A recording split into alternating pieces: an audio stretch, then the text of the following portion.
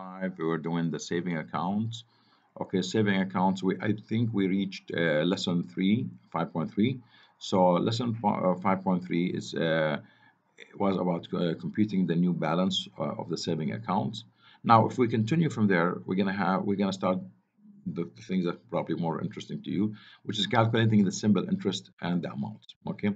Uh, section lesson 4 uh, we'll be talking about simple interest. Lesson 5 we'll be talking about compound interest. Lesson 6 also compound interest but by using a table. Probably we're not going to use a table. We're going to use the formula more than the table. So the interest formula is more is more accurate. And then we're going to be calculating the interest uh, for a daily compounding the last thing we're going to be doing computing a future value of the ordinary annuity and annuity due. Definitely we're not going to be able to finish all this in, in one week, so we're going to take us take us a couple of weeks to do that. So let's let's go ahead and start working on, on what we're probably going to be doing this uh, this week. I remember one and two and three should have been done by now, hopefully. Uh, now we'll talk about uh, 5.4, 5.4, which is the interest. All right, so it's simple interest.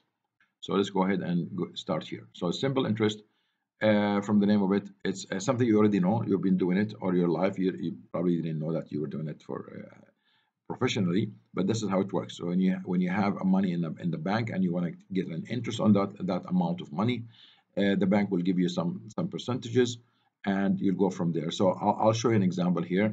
This guy uh, has a deposit of nine thousand dollars. He he's he's been promised for five point five percent interest rate and uh, they want us to calculate how much money he's going to have in the bank after three years, after three months, after three days. Okay, so the way it works, this is a general uh, way of doing it.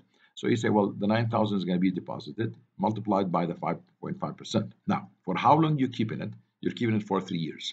So you multiply it, direct multiplication. So that means your 9,000 becomes what? Becomes uh, uh, $10,485 okay? So that's how much money you're going to have in the bank by that time. All right?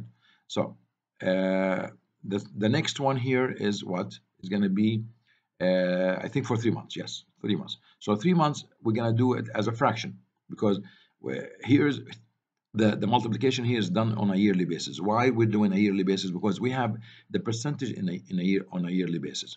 So when I say 5.5 percent per year so that means a number here has to be per year now, uh, three months is not that. It's not the three years, right? So we can here we need to distinguish. So three month is is a fraction of a year. So what? How how much is a fraction? So it's one fourth one fourth of a year. So you need to to multiply one fourth of a year by the 5.5 percent times the nine uh, the nine uh. You end up with uh, a final amount of nine thousand one hundred and twenty three. So remember, this is not the interest. This is actually uh, the final amount. So the interest, we'll able to figure out how much is the interest later on. Okay. So uh, this is like two steps kind of procedure. All right.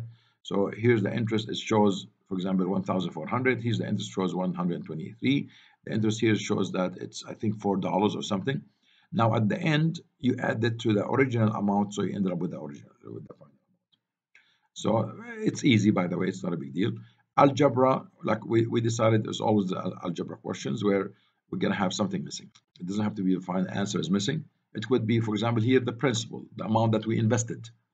Uh, other questions where they might ask us about a missing uh, interest rate uh, or a missing time limit. Okay, how long we kept it in the bank. So we could have a lot of things missing, either the principal, the rate, or the time uh, and they would give us, for example, the final amount, which is the interest, right? So that's algebra. Here we involve algebra. It's not heavy algebra, but it, it's still algebra. The compound interest is also another thing. So this is done uh, uh, compounded, so that your interest is gaining other interest on top of that. So also we're going to be taking this. So it's going to take us like this week. We're going to do this, uh, and hopefully we'll finish uh, both sections by that time. Okay, guys. So I'll talk to you later.